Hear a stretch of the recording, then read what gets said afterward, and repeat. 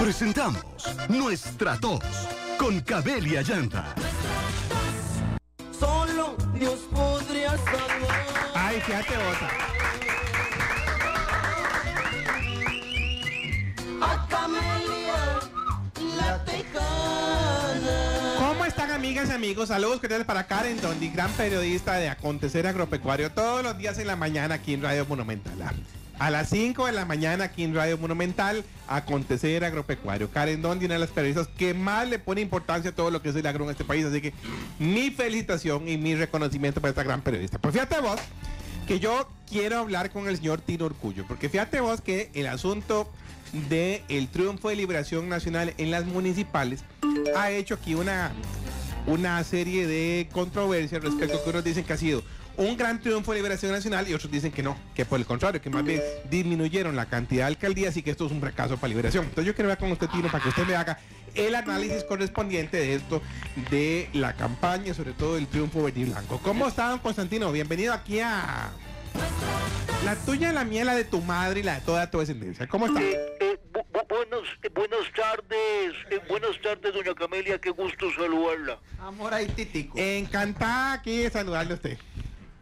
Bueno, eh, vea, eh, esto, eh, esto se puede eh, hacer una lectura en la cual me parece que hay que enfocarlo en dos sentidos. Eh, primero que Liberación Nacional ciertamente, pues podríamos decir que pues perdió alcaldías porque tenía 50, pasó a tener 42, en este caso perdió 14 cantones, recuperó 6 de las que pues en algún momento había perdido y eh, eh, pues podríamos decir que haciendo un análisis y tomando en cuenta que hace ocho años no está en el poder ejecutivo, el Partido de Liberación Nacional podría considerarse entonces que es una victoria. Sin embargo, también hay que hacer la lectura que perdió eh, algunas alcaldías y evidentemente pues eh, esto genera también algún tipo Ahora, de... Tino, ahora, Tino, hay otra cosa importante también.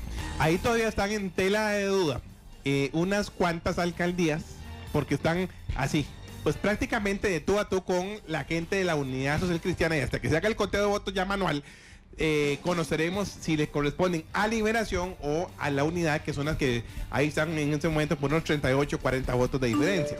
Entonces, también eso también va a influir. Eh, eh, bueno, pues me parece que la diferencia al final tendría una incidencia ínfima en cuanto a lo que van a ser los resultados eh, eh, finales. No obstante, eh, y tomando en cuenta el nivel de abstencionismo que existe en estas elecciones municipales, si hablamos de que eh, Liberación Nacional obtuvo 352.736 votos, es una cifra que ellos están manejando como positiva de cara a lo que podría ser las elecciones eh, presidenciales. Mijo, mijo, mijo, me están entrando 4.899 mensajes. Oiga, oiga cómo suena. Y me están preguntando aquí, dígale a Constantino Tino Orcullo. A Constantino Tino Orcullo, que le pregunten a él. Pregúnteme latino si esto es una radiografía de lo que eventualmente podría ser el panorama en el 2022. Digo yo, digo yo. Oh my gosh, oh my gosh. Bueno, pues, pues en alguna medida este podría decirse que esto se trataría de una, de una radiografía eh, principalmente porque aunque hay un gran nivel de abstencionismo, podríamos eh, este eso sí establecer de que hay un partido que se está postulando como eh, el, eh, algún liderazgo como es Liberación Nacional, el resurgir de un partido como la Unidad Social Cristiana y eh, obviamente la política es muy cambiante y hay momentos claves. En este momento el gobierno, en caso del PAC, está muy impopular por diversos temas, entonces pues no podría decir. Bueno, Constantino, muchas gracias por haber estado con nosotros aquí directamente en la tuya y la mía, la de tu madre y la de toda tu descendencia. Fíjate vos, Hernández, que tenemos algo muy importante ahí, pero la- lo que es la vida, ¿verdad? Mientras hay mucha necesidad en algunos lugares, fíjate vos, el derroche hay en otras partes. Y esto es así no- normal en la, en la vida, ¿verdad? Eso pasa. Las botas que usó Shakira están valoradas en 20 mil dólares. Oh, Fíjate, no, pues. 11 millones de colones fueron las botas que usó en este espectáculo de, del Supertazón. Ah, qué terrible. 11 millones de colones, unas botas. ¿Ah? Eh, yo quiero hablar con Cintia de la O, para que Cintia de la O, que, que conoce, que conoce tanto de esto, me hable un poquito. oh, póngala ahí, póngala.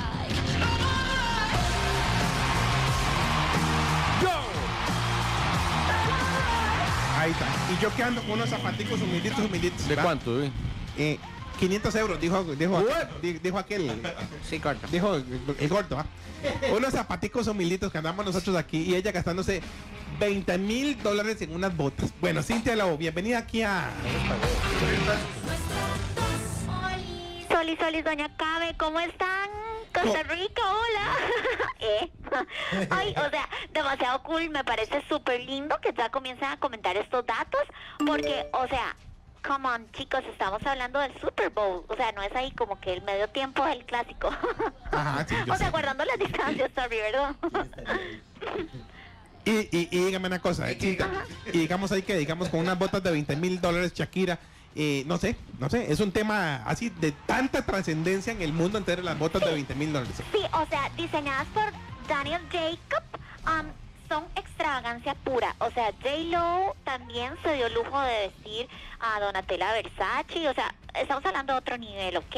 Ajá. Diseñadores, o sea, son, son las grandes ligas. Entonces, sí es importante, o sea, no es como que ponerle escarchita al traje como que si fuera el Festival de la Luz y ya.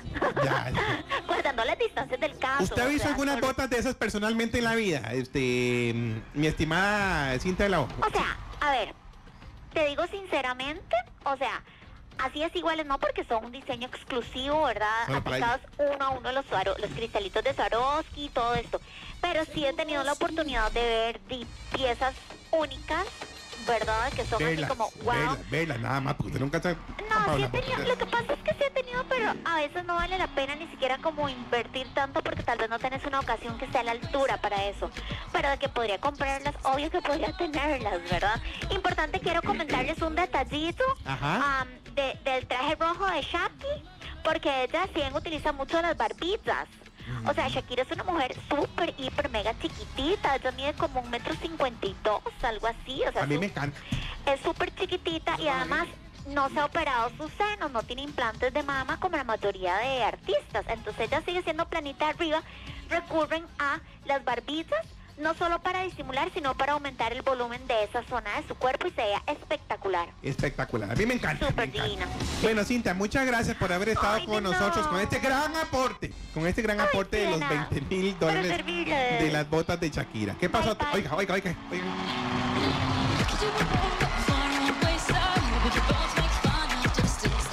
pero sin botas. ¿Qué pasó, Tristán?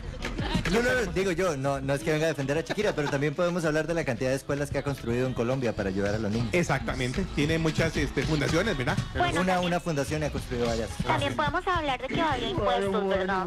¿De En qué? España, no. Evadió que- impuestos en España. Tenía un problema Ay, ahí con el contador. cosas. Pero sin botas.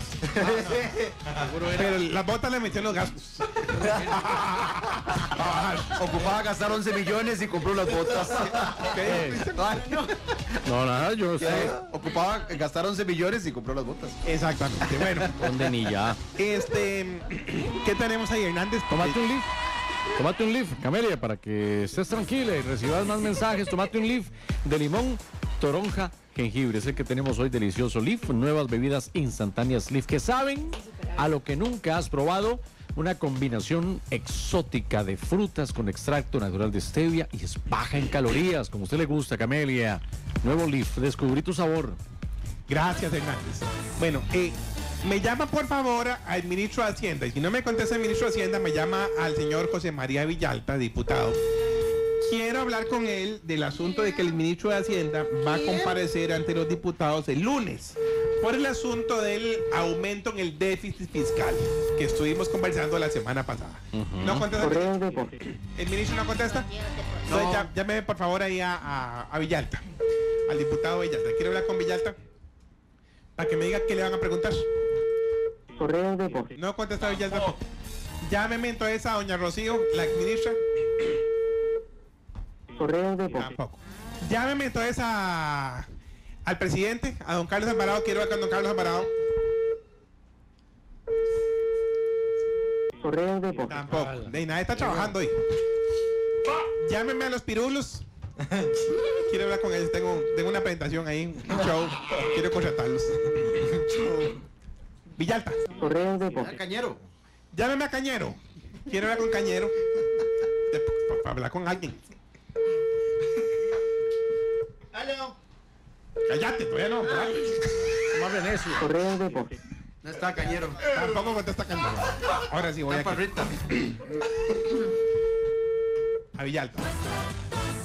Aló. Ahí está Villalta. ¿Cómo está, señor diputado? Qué gusto tenerlo aquí en Pelando Loco en nuestra tos. Muy buenas tardes, doña Camelia. Eh, acá estamos para lo que necesite. Realmente estamos trabajando duro en la Asamblea Legislativa y queremos, obviamente, dejar un grano de arena en esta administración.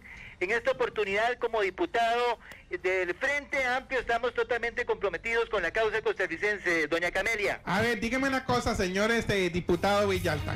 ¿Qué le van a preguntar al señor ministro si él ya dio las declaraciones de el aumento del déficit que es de los más altos en los últimos 10 años? Primero quisiera felicitar al señor Pedro Muñoz, que fue el que convocó y que con 41 votos se decidió llamar a Rodrigo Chávez, al señor Rodrigo Chávez, ministro de Hacienda. Pero si Rodrigo está empezando, Rodrigo está empezando. ah, Tendrá no que dar cuentas, tendrá que dar cuentas porque tuvo que haberse empapado de lo que está sucediendo. Se le va a preguntar, lo primero, doña Camelia, es a qué se debe que se haya aumentado este déficit de un 6% a un 6.96% del Producto Interno Bruto. Y ya que nos haya explicado por qué se generó, ¿qué piensa hacer para revertirlo? ¿Qué piensa hacer para revertirlo? Porque realmente esto es preocupante. Y que venga, que venga don Rodrigo a darle cuentas a los, a los diputados de la Asamblea Legislativa y a todos los costarricenses. Señor Villalta, muchas gracias. Muchas gracias por atendernos, señor Villalta. Voy con llamada telefónica de los oyentes y la gente que está opinando en nuestra línea WhatsApp de Pelando el Ojo, que es el 70026000 para que nos dejen audios. Audios en esta línea nada más, porque Tristán se pone ahí en unas 500. Y entonces esos son los audios que ponemos al teléfono. 70026000 y en el 905-222-0000 para hablar con ustedes. Para hablar con ustedes de esos temas o del tema que ustedes gusten. A ver, Hernández, porque ya vamos con llamada. Bueno, siempre estamos de su lado en repuesto gigante, por Eso supuesto.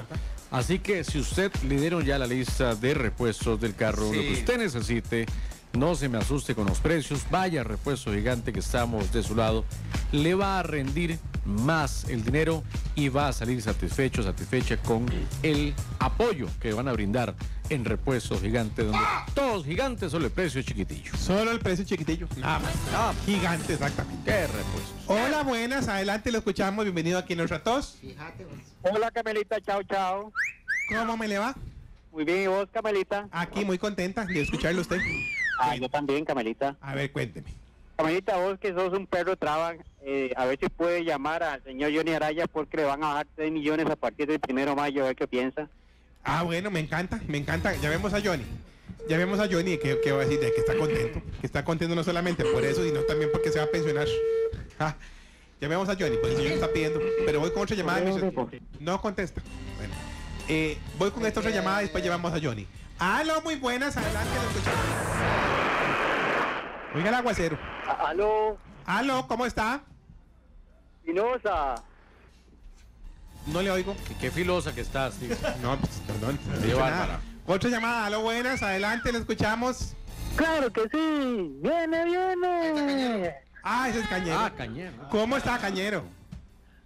Padre Mitch, mándeme de la hacienda de los tres cochinitos. Está jodido la. Bien jodido. esto. Es que él quería decir Padre Mix, Costa Rica está feliz. Ah, eso era. Como dice Cañero. Ah, bueno, es que sí. Eh, Padre Mix de Costa Rica está feliz. Bueno, vamos con otra llamada. Otra llamada. Hola, buenas.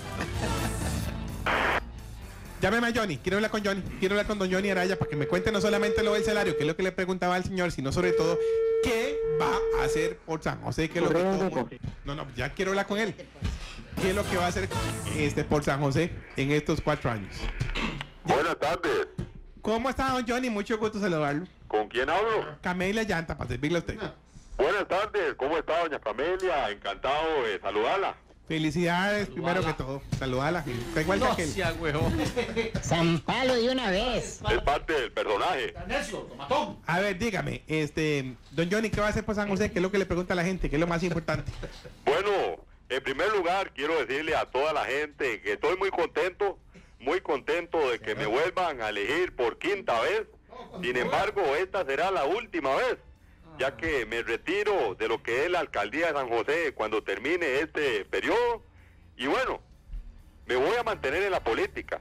Yo creo que tengo muchísimo que aportar en la política, más sin embargo, en este caso, pues me voy a retirar de lo que son las alcaldías cuando termine este periodo que ahora volveré a comenzar el primero de mayo. Y bueno, muy contento con todos los costarricenses que me eligieron de nuevo. Bueno, Johnny, muchas gracias. Muchas gracias por atendernos. Mucha suerte y ojalá que de verdad eh, todo lo que usted ha dicho que va a hacer, este, lo haga. Especialmente en la ciudad tecnológica, que es lo que me parece que es más importante. Estoy feliz. Ah, es que está feliz. Estoy feliz. Bueno, muchas gracias, don Johnny Araya, por estar con nosotros aquí en... ¿Ah? Así le explota la jupa.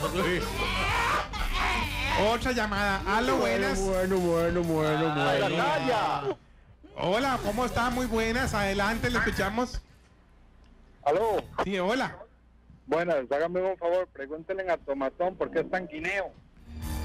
¿Que ¿Por qué le gusta el guineo a Tomatón? Chineo, no, que porque le gusta el chineo.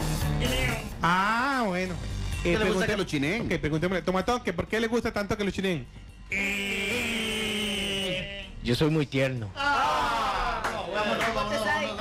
Vámonos, vámonos. Haciendo voz de sádico. ¿no? Yo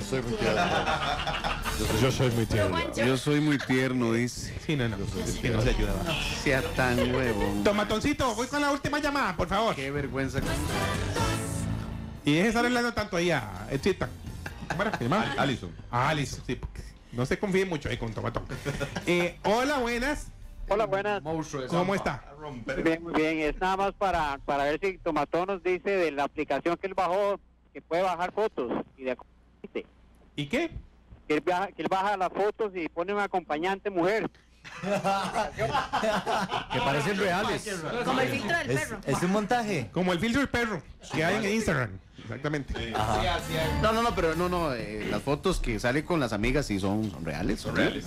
Glenn ¿Las tiene. las amigas? Las dos son reales. Con plata, ¿quién no? Y no.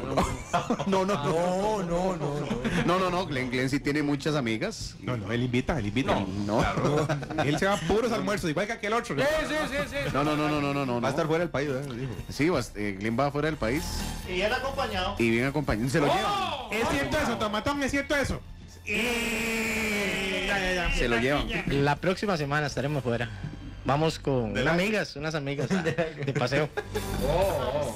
Me, encanta, me encanta que disfrute Tomatón. Se merece esas vacaciones. Sí, se lo llevan. se lo ¿Dónde va? ¿Dónde va? ¿A dónde va? Fuera del país. ¿A dónde? ¿Pero a dónde? No, porque es que no puedo dar pistas. Muy bien, Glenn. ¿Es en serio Y esto? todo lo que dicen es verdad. Yo cuando sea grande quiero ser como Glenn. Bueno, Tomatón, lo felicito. Aproveche. Hay un dicho que dice juventud. Divino Divino tesoro. Pero y ahí que digamos. Y ahí que sí. Ya digamos, ahí digamos que digamos. ¿Cómo aplica ahí? ¿Qué? Con la, con la juventud. No, no, no, pero, pero muy bien, Glenn. Tesoro. Imagínense, se lo llevan fuera del país, unas amigas. Sí. No paga nada. Unas amigas lo invitan. Lo Ellas pagan todo. Sugar Se lo llevan a pasear a él. Varios días. Sugar, da- ¿cómo es? ¿Sugar qué? Sugar mami. No, no, no.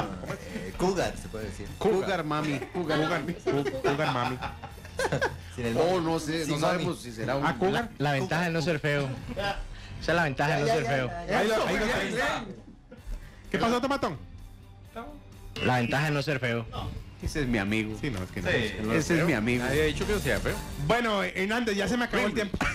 Mejor terminar. sí. La gente está regándose las vidas. Era idéntico a Kiko. Sí, doña Camelia, ya tenemos que irnos y agradecerle a usted por su presencia, ¿verdad? Que siempre nos encanta tenerla.